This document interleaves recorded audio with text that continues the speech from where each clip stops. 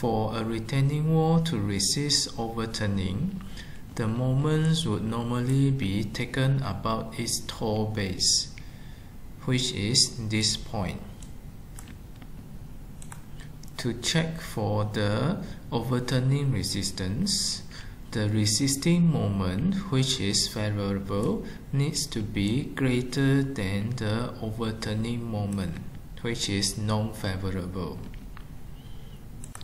Within the favorable resisting moment, there are GK and QK.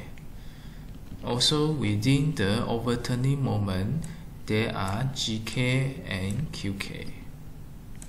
Based on the table of factor of safety, the third conditions for static equilibrium is used. The factor of safety for GK and QK for favorable and unfavorable conditions are given here. For favorable moment resistance, which referring to the factor of safety here, 0.9 is to be multiplied with the GK and 0 is to be multiplied with the QK. As for the overturning moment, 1.1 is to be multiplied for the GK and 1.5 is for the QK. For this case, the self-weight of the soil and the member is considered as favorable.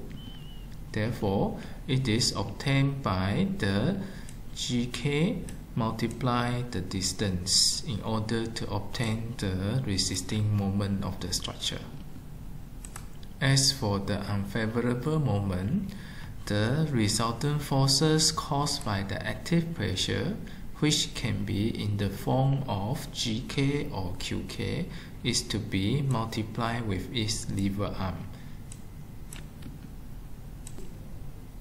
The entire equations needs to be greater than zero so that the structures remain stable.